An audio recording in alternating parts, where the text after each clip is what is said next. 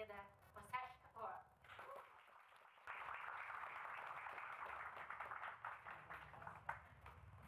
Alright, uh. So hey everyone, can you all hear me properly at the back? So guys, uh, so good to be here. Uh, you know, uh, like I'm, I'm really excited to be here. Like I'll tell you in a bit. But first of all, I would like to get you all to give yourselves a round of applause for having a successful year. Yes. Like to me, it's a really amazing thing to be here because uh, I was an accountant till six months ago, and I applied to HI. So, hi Teresa, nice to meet you. like usually you go and you're like, yeah, I want to put a name, you know, face to my name, but this time I was like, oh, that is Teresa. Okay. Too many cover letters sent over there, you know. So, so it's good to be here, guys. So, uh, you know, you've had a great year. I've had a great year as well. I recently got my citizenship, so yes, thank you. Yes, so it's, it's a good achievement for me, and to celebrate getting my citizenship, I'm soon going to Bali. Step one. Yeah, and then while I'm there, I'm also gonna get a tattoo. Step two. Yeah. I'm gonna get a tattoo so you guys know that he's one of us. I'm gonna get a tattoo which says uh, Dead Set Legend. so I am. But it's good, you know. Anybody else who recently got their citizenship in the crowd? How recent? How recently? Oh, look at me. Got one year ago, I'm still smiling. now, like, like even with the citizenship, when you when, when you have to sit for the exam, like they ask you some questions. So I was in the citizenship exam and I thought I'm ready. And now they started asking me questions. And there was a question that I, I, I just started panicking, right? Like the question was, Melbourne and Sydney are the busiest cities in Australia, but why is Canberra the capital? I don't know that. Even you don't know that, right? So I started panicking, like I'm sweating, my hands are shaking, I'm fidgeting. The examiner saw this, he walked up to me, he's like, hey man, are you, are you alright? I said, not really, I think I'm having a panic attack. And he's like, oh, you mean like a mental health issue? I was like, yes. He said, congratulations, you are in Australia. I know some of you are like, oops, I don't want to laugh. but it's, it's your last day, right? Yeah? All right, I'll be mindful of that. Uh, no, but you know, like it's, it's good getting the citizenship. It's, it's been amazing. But now uh, I have this problem. Like now my dad suddenly thinks that I'm making too much money. like he's always calling me, asking me for money. Like I'll pick up the call. I'm like, hello, and all I hear is, I need four hundred dollars, and I have to check if it's a scam call. but it's really my dad. And then the reason he's always asking me for money is because he is what you call uh, tight R's. Some of you have clients like that, so do I. you know, like I, I come from a poor family, guys, right? And growing up, uh, we, I would see a lot of kids play with fireworks during Diwali. You guys know Diwali? Yeah. It's like our festival of fireworks and lights. And I would tell my dad, I'm like, Dad, look at those kids playing with the fireworks. They look so happy. Why don't you get me some of that? And my dad would say, Son, find happiness in their happiness. Such a tight I say. and then because life has been better, you know, he's, he's I, I was able to get my dad to Australia. He's staying with me currently. And when he first got here, he told me, Can you take me skydiving? Anyone been to skydiving recently? Yeah. How much how much was the price roughly? A lot. A lot, right? Plus no tax deduction on that so like I, I had a look online, it's like five hundred dollars for one session. So what I did was I put up a skydiving video on the television. and I told my dad, find happiness. That's a legend, hey. But he's funny. Like my, my dad is a he's a he's a cool character, right? Like when I when I was a kid, he told me something which was very impressive. He said that son, when you grow up, you can be anything you want to but a doctor sounds better. haha, you know? Typical Indian dad. So he, he's he's always been like that. And I still remember I was probably like 13 or 14, and one day me, my mom, and my dad we having dinner, and my dad suddenly says that oh because I love you guys, I'm gonna give up smoking. And my mom looked at him and said that we are your only family and your life insurance is hundred thousand dollars. if you really love us, smoking it, hey. but but that's that's the banter they have, right? And they've been together for 30 years, which is amazing. And actually, any couples who work in the office together, Did you see the figures? Are like, oh yes. how, how long you guys been together? Four and a half. Four and a half. Yeah, yeah, give them a round of applause for that. Okay, what sort of accounting do you guys do?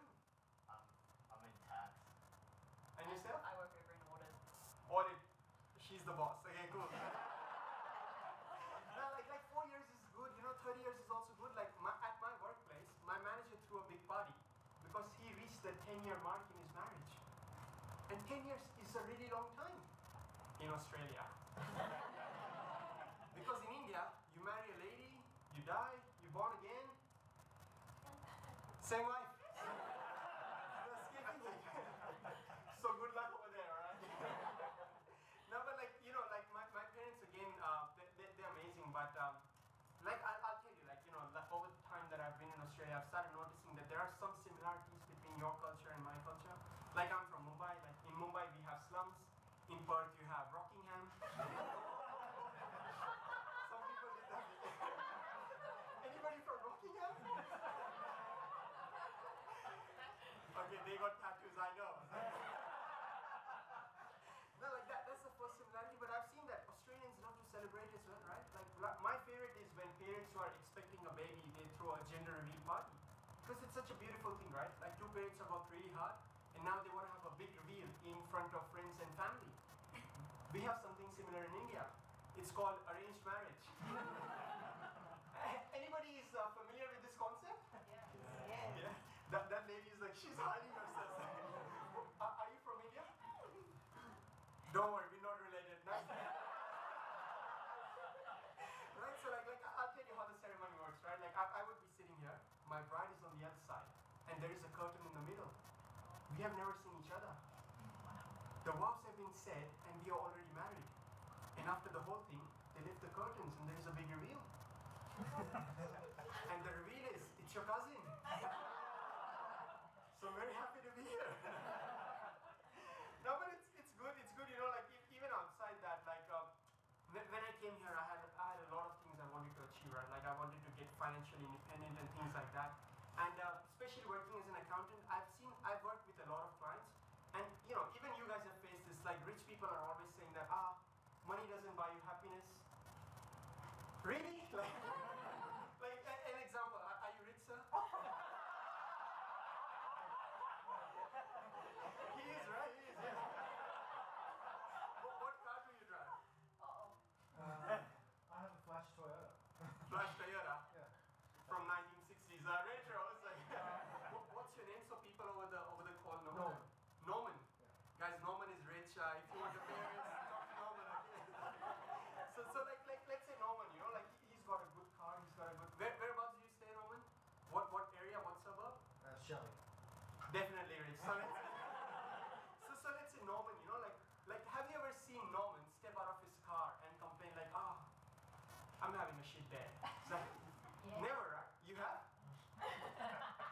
nah, even Norman is like, right? Because that doesn't happen, right? Like he, he's got a nice car, he's got a nice house, and I personally think I'm a happy person, and I drive a Suzuki Swift. yeah, like uh, if imagine if I had a house in Shelley, I would be as happy as a bogan in Bali. like spe- speaking of bogans as well, you know, like I'll, I'll touch on that, right? Like, I, I, and how many of you actually came to Australia as international students? Just raise, raise your hands. Four, five, six. All right. Like for you, you, you, you know, rest of your Australians, you, you might not know this thing, but uh, when we come here, we have to sit for an English exam. Yes. And, and in the English exam, we have to listen to two Australian blokes talk and make sense of what it is. And, and I'll tell you, all I would hear is. That's all I would hear. And then there would be a question, how many years are there? I'm like, too many. but, but we have to do this every two years, guys. Every two years we have to sit for this exam. Because the immigration department scared that, you know, our English is going back, hanging around Australians. I still don't know what is an avo. Is it avocado or is it afternoon? I don't know. but like you know, like even even even going to India, right? Like this, this strange thing happened with me, right? When I when I went back to pick up my dad, right? Like I, I took two wallets, like as, as a foreigner, as a traveler now.